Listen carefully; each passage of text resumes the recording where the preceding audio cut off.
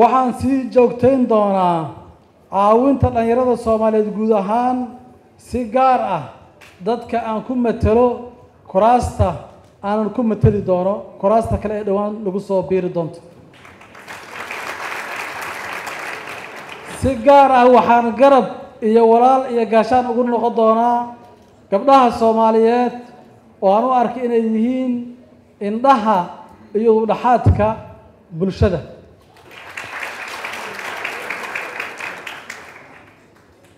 dhalinyaro mudanayaal iyo marwooyin sida aada wada ogsoon tihiin waxaa socda dadaallo xooggan oo soo maray marxalado kala duwan kuwa oo lagu gol leeyahay samato iyo horumarinta qaranka soomaaliyeed oo u baahan juhdi badan kuwa oo lagu gol ah oo u baahan juhdi badan. Waxaan ku faraxsanahay inaan mar kasta qayb ka ahaa dadaaladaas oo aan waqti iyo xilliyo badan soo geliyey haddana wado siina laba jibaari doono.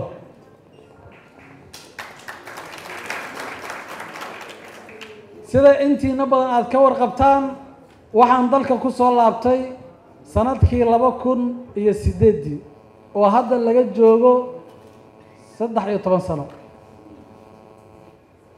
Muddada inta xilligaa aniga oo ka imid kana tirsanaa isbahaysigii mucaaradka ah ee fadhiyay eritrea caasimadiisa asmara kadibna soo maray jabuuti lana imid dowladdii halkaa aan ku soo dhisnay ee hogaaminayay madaxweyne mudane shariif sheekh axmed.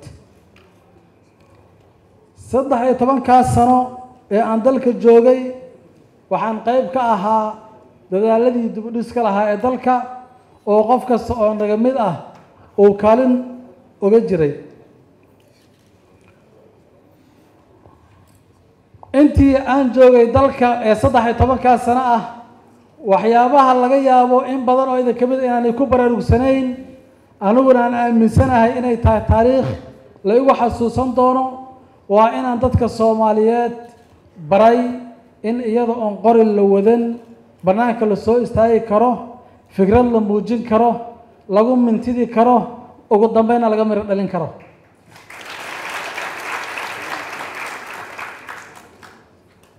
si gaar ah waxaa laga yaabaa inaad iigu xasuusataan laba kun iyo kow iyo tobankii markii uu soo baxay heshiiskii soomaalida dhexdeeda caanka ka ahay ee kambala accord ee dowladdii xilligaa jirtay hoggaankeedii madaxweynihii iyo guddoomiyihii baarlamaanka iyo ninkii markaa u n-ka soomaaliya u qaabilsanaa heshiiskii kambaalo lagu soo wada galay ee lagu saarayey ra'iisul wasaare iyo xukuumaddii xilligaa jirtay banaanbaxyadii weynaa ee dalkan ka dhacay ee dadka soomaaliya ilaamiyada soo istaageen fikradeyda ay ku muujiyeen yaa laga yaabaa intiina badan inaad igu xasuusataan fikraddii ayada ahayd weli waa aaminsanahay. Waxbana iskama ka bedelay waxaa laga yaabaa in badan oo idin ka mid inay isweydiiso hadda weli ma aaminsan yahay.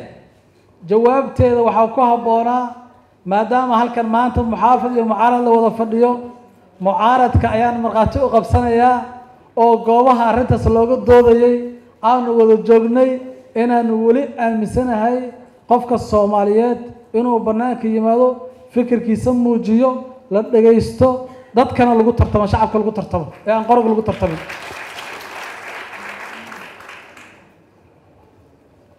Muddadii aan joogay dhowr meel ayaan ka soo shaqeeyey. Laba ra'iisul wasaare waxaan u soo kala noqdo laba la taliye midkoodna hadda uu madaxweyne yahay kan kalena uu hadda dalka dabadiisa degan yahay mudane faarax cabdi faarax shirdoon saacid oo ahay soomaaliya lala shaqeeyo. Ninka ugu nasabsanaa oo aan soo arkay. Waxaan kaloo ka soo shaqeeya xafiiskii igad ee soomaaliya. Intii ka dambaysana madax kasta ee soomaaliyeed ee timaada mar kasta waa la shaqaynayey tusaale ahaan dowladdan dowladdii ku horreysay labadii sane iyo markii ugu horreeyey waxaan ka ahay la taliya waanan ka shaqaynayey markii doorasho iyo kambeyn la gaarana dee nimba damicii iyo duruuftii.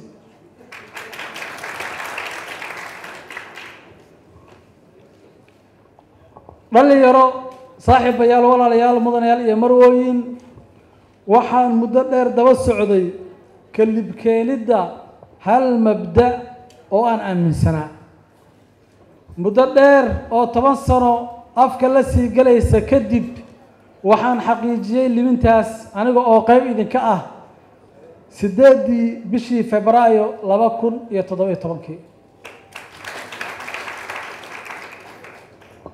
Ilaa nin weyn boodboodid iyo hadba kalluundinimo kuma samee.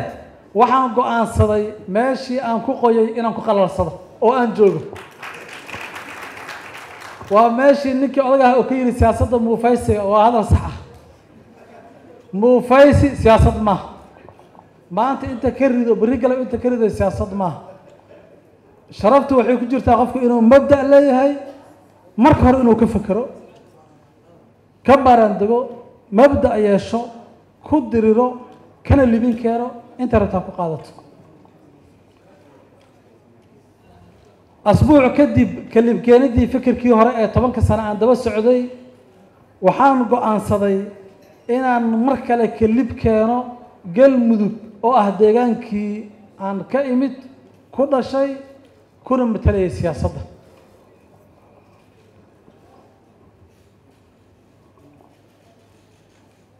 Waxaa xilligaas galmudug ka jirta kala qaybsanaan xididaysatay waxay lahayd laba maamul laba baarlamaan laba caasimadood laba garsoor iyo laba ciidan. Midayntii galmudug dad badan oo ay ku jiraan madaxda dalka hadda ka talisa waxay u arkayeen inay tahay arrin adag in laga guul keeno. Anba waan fahamsanaa culayskeeda balse dareenkayga damiirkayga iyo dadnimadayda ayaa ii diiday inaan dadkayga ku daawado xaaladdaas mugdiga ah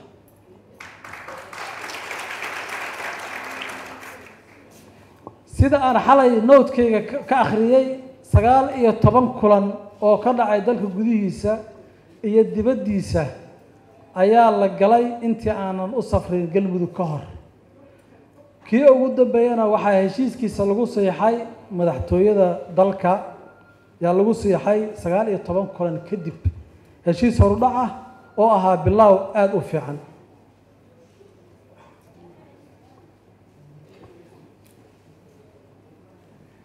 ugu dambeyn waxaan u safray galmudug oo aan muddo sanad ka badan soo joogay si aan u dhiirageliyo dadaaladii socday. Muddo dheer iyo taariikho badan oo kutubo badan laga qori karo oo aan la kulmay oo dhib iyo dagaal iyo musiibatii ugu dareed ah. Ugu dambeyntii waxaan xamar ku soo laabtay galmudug oo leh hal maamul hal baarlamaan hal ciidan iyo hal hoggaan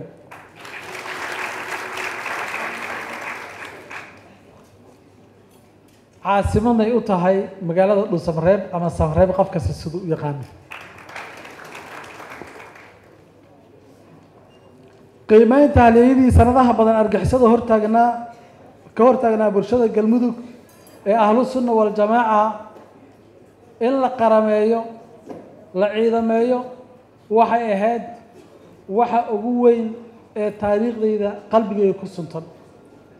Saraakiishaasi maanta waxay ka mid yihiin saraakiisha ugu muhiimsan ee dalku ku tashado qaranka soomaaliya uu ku tashado. Hadda halkan waxaan ku arkay haddaan tusaale u soo qaato oo halkan hadda aan isku salaannay kabtan muuse tashade oo ka mid ahaa tobankii dhallinyaro ahaa ee xabadda kala hortegay al-shabaab. Muuse markii la qarameeyey kadib dalka soomaaliyana wuxuu ku qaatay laba tababar dalka dibaddiisana wuxuu ku soo qaatay laba tababar. Waa wax ilaahay looga mahadnaqo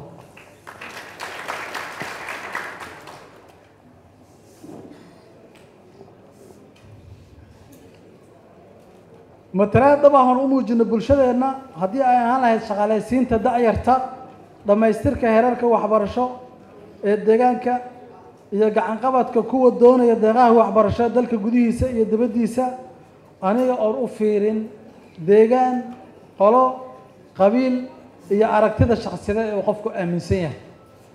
Waxaana markhaati ka ah halkan hadda soomaaliya haddii gees laga soo bilaabo cabdifitaax baa halkan soo istaagay waa shantii soomaaliyeed geeskeeda. Waxaan kaloo halkan ku arkay fardowso buulle. Fardowso buulle waxay ka timid mandheera. Marka halkaas waxaa ka cad inaana dadka soomaaliyeed anoo og wax aan ahay anoo og deegaankayga anoo dadkayga aqaana. Haddana inaan ummadda soomaaliyeed si sharaf iyo gobonimo leh aan qof isoo mutay uusan albaabkayga ka laaban isaga oo ciishoon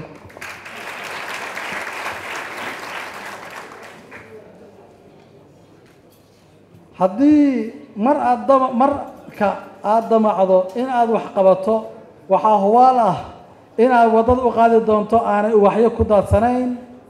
Karti adkaysi iyo dadnimona loogu gudbi karo arrintaas iyada ah.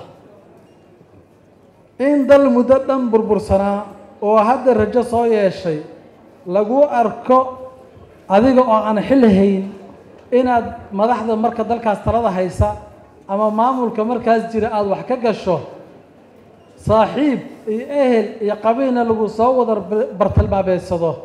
Waxay ahayd jaaniska waxay ahayd caqabadda ugu weyn ee aan la kulmay intii dowladdan ay jirtay. Weliba adiga oo dowladda xubin ka ahayn na culayskeeda waa sii qiyaasi kartaan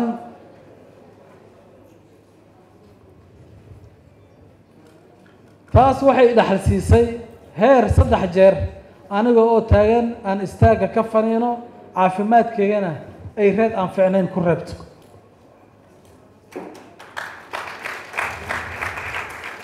Waxaa qodobadaas ku lamaansan in dadka intaas oo dhib ah loo marayo qaarkood aanay sidii sharafta lahaa ee aada ugu listay aanay kugu wada hambeyneyn waana dhaqan iyo dadka iyo kala garashadooda. Waxaase badan waxaase aada u badan inta maskaxda ka qangaartay ee xor ka noqotay xaasidnimada caqdiga damiir xumada gaasho la'aanta hambeyn la'aanta iyo hal jufo sii kala jufaynteeda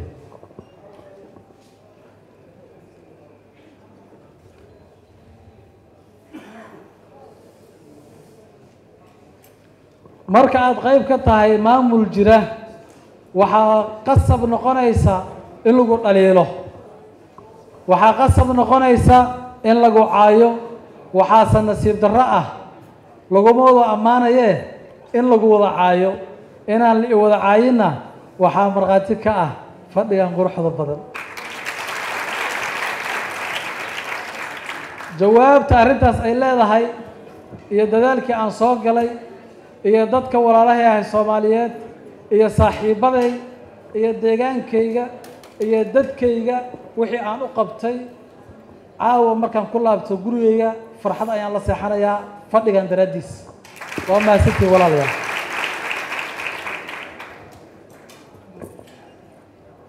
sida aad la socotaan siyaasaddu arrin sahlan ma aha. Waxay u baahan tahay shaqo joogto ah waxay u baahan tahay kawraqal joogto ah xaaladaha isbedelaya iyo dhacdooyinka maalinlaha ah. Siyaasadda ka sokow ha waa mashquul joogto ah. Hase ahaatee taasi igama mashquulin inaan anigu marka hore nafteyda horumarayo siyaasadda ka sokow hadda aan idin hadlayo waxaan ahay arday dalka dibaddiisa wax ka barta.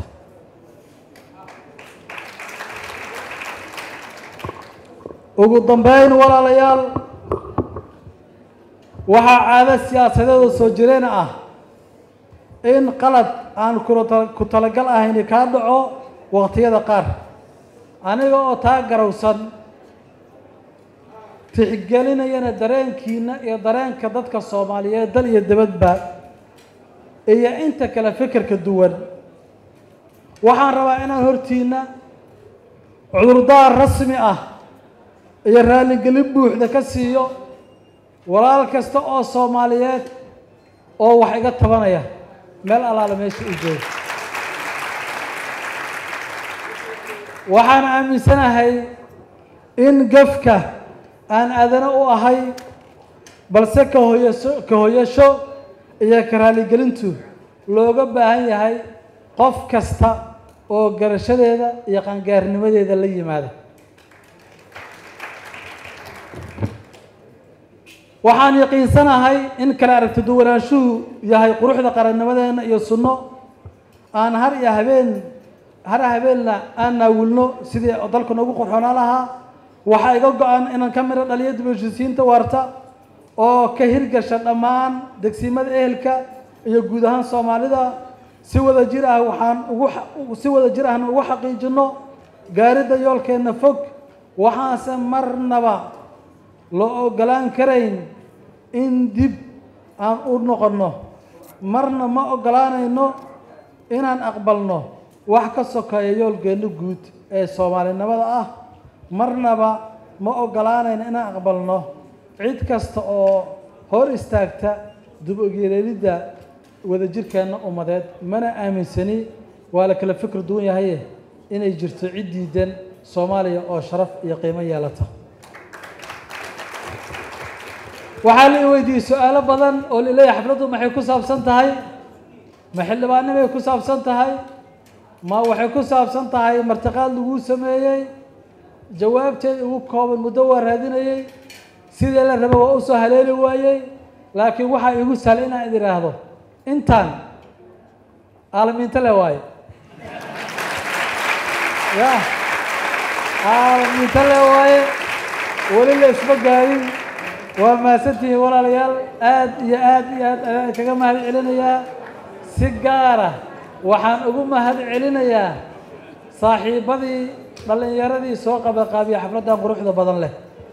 Aad iyo aad ayaan idinkugu mahad celinayaa dhammaantiin aad iyo aad aan idinkugu mahad waxaan sidoo kale u mahad celinayaa ka soo qaybgalayaasha. Arrinta xildhibaannimada waa noo meesheedii premier wallet waa application cusub oo uu kuu keenay premier bank. Faa'iidooyinka premier wallet waxaa ka mid a waad iska diiwaangelin kartaa adigoo jooga goobtaada. Dadkaan akawnka ku lahayn bangiga premier waa ay iska diiwaangelin karaan premier wallet. Dukaamada iyo ganacsiyada kala duwan ayaad wax uga iibsan kartaa. Lacagaha waxbarashada caafimaadka korontada ayaad ku bixin kartaa. Lacag ayaad u diri kartaa qof kale laguguna soo diri karaa si fudud. Akawnkaaga iyo masterkarkaaga premier bank ayaad ku xidhan kartaa kana maamulan kartaa. Lacag ayaad ka dalban kartaa asxaabtaada ama waad oggolaan kartaa lacag lagaa soo dalbaday dhaqdhaqaaqa lacagahaagana waad kala socon kartaa. Ganacsiyadu waxa ay leeyihiin ab u gaar ah oo ay kala socon karaan xogta lacag bixinta macaamiishooda. Intaa iyo in ka badanba ka hel abka premier wallet oo kala soo deg hadda blay storeka ama ab storeka